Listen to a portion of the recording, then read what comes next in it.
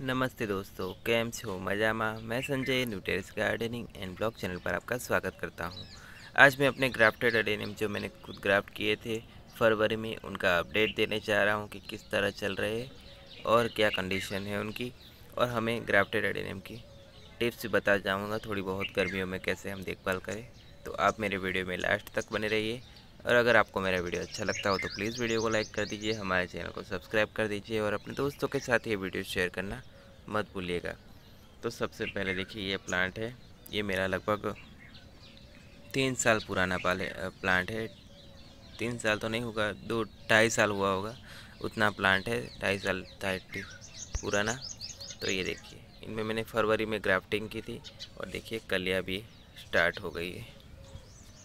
तीन ब्रांच पे ग्राफ्ट किया था। ये दो, एक, ये एक, ये दो और यहाँ पे तीन। तो यहाँ पे दो ब्रांच निकल के आई है, इस पर भी दो और यहाँ पे एक। तो तीनों पे देखिए कितनी ज़्यादा कलियाँ बनी हुई है।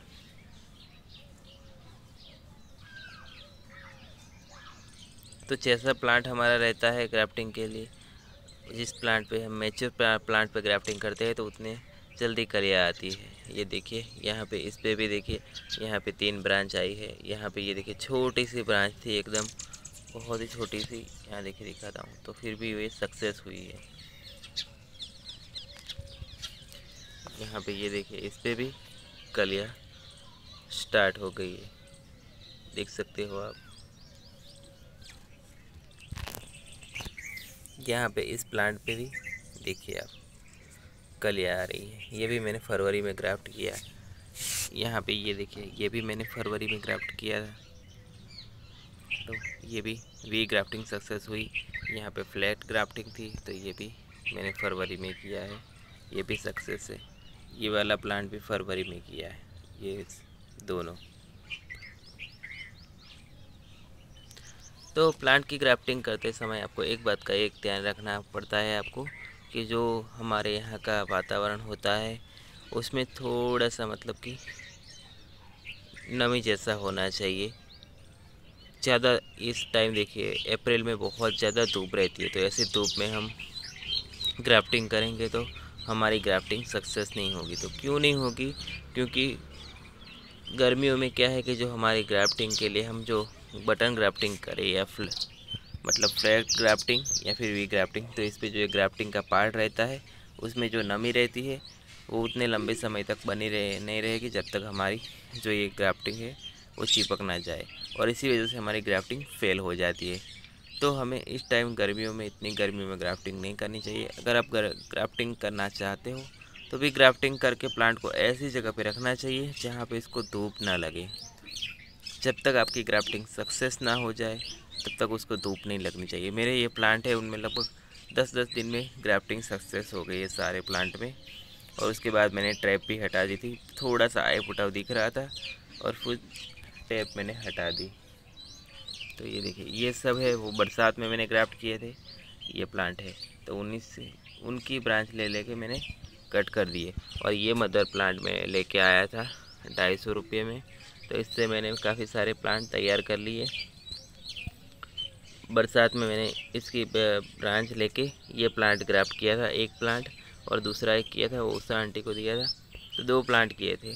तो ये प्लांट देखिए, इससे मैंने काफ़ी सारे प्लांट किए और मदर प्लांट को मैंने कट नहीं किया इस टाइम बड़ा होने दिया है। यहाँ पे देखिए, इस पे भी देखिए, कलिया बन रही है। और यहाँ पे इस प्लांट के भी मैंने ग्राफ्टिंग बरसात में की थी दो ये दो ब्रांच की और ये दो ब्रांच अभी फरवरी में की है। ये देखिए, यहाँ पे ये बड़ा प्लांट है, इस पर भी मैंने ग्राफ्टिंग की थी। यहाँ पे वी ग्राफ्टिंग की थी, पर वो सक्सेस नहीं हुई। और यहाँ पे देखिए, ये फ्लैट ग्राफ्टिंग की थी।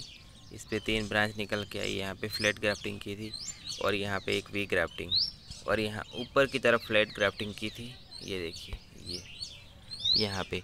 ये सक्सेस हो गई थी, पर मैंने क्या किया कि मैं एक बार पानी दे रहा था तो मेरा हाथ लग गया तो ये निकल गया यहाँ से। देखिए, यहाँ पे ये देसी वाले की ब्रांच निकल के आएगी तो मैं ऐसे ही रहने दूँगा। फिर से अगर टाइम मिलेगा, बरसात में, बरसात से पहले पहले तो मैं कर दूँगा। ये देखिए, यहाँ पे भी ग्राफ्टिंग की मैंने। ये देखिए, ये भी फरवरी में की है। यहाँ छोटे से छोटे प्लांट में कलियाँ आ रही है।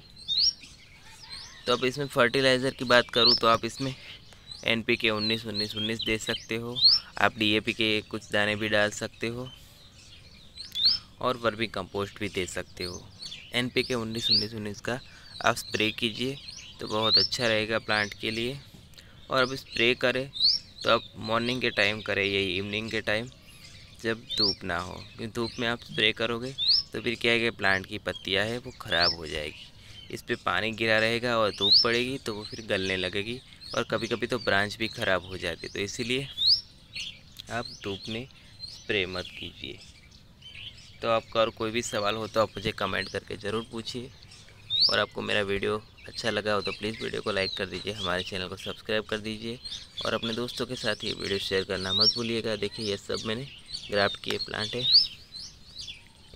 और यहाँ पे देसी वाले पे देखिए मैंने ग्राफ्ट किया था, छोटी सी ब्रांच ले। ये देखिए तो इनमें भी कल ये अब खिलने वाली है। तो आज के लिए इतना ही। Okay friends bye